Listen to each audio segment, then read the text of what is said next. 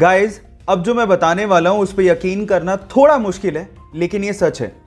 एक ब्रिटिश बिल्ली है, जिसका नाम है कोबी, और उसकी पॉपुलैरिटी का अंदाज़ा भी आप लोग नहीं लगा सकते हो। उसका एक इंस्टाग्राम पे अकाउंट है, जिसका नाम है कोबी द कैट, और जानते हो उस पर कितने फॉलोवर्स हैं? उस पर 1.8 मिलियन फॉलोवर्स हैं। जी हाँ एक बिल्ली के 1.8 मिलियन फॉलोवर्स हैं। मैं भी देख के हैरान रह गया था।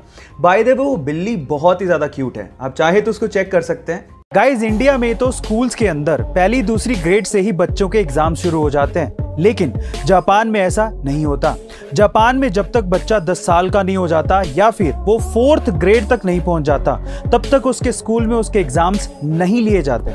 उसके पीछे का रीजन ये है कि जापान में ऐसा माना जाता है कि स्कूल के पहले तीन सालों तक बच्चों की नॉलेज चेक करने की बजाय उनका करेक्टर डेवलप करना चाहिए और उन्हें मैनर्स सिखाए जाने चाहिए।